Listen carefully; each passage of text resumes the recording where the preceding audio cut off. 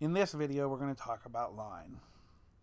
Line is a continuous mark made by a tool as it's dragged across the surface. So if you think about uh, dragging your pencil, writing on a piece of paper, that pencil point is being dragged across the paper and the lead happens to get left behind so you can see where it went. Just like with shape, you have geometric lines and you have organic lines. Geometric lines, they're angular, they can be measured. Think pointy, straight lines. Uh, organic lines are curvy and can't easily be measured. Again, think curvy lines.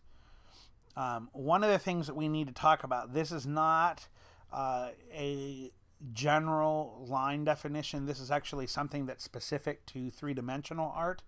Uh, lines can be additive, um, which means that you're actually building up like rolling a coil and sticking it on top of the clay. You're adding clay to it.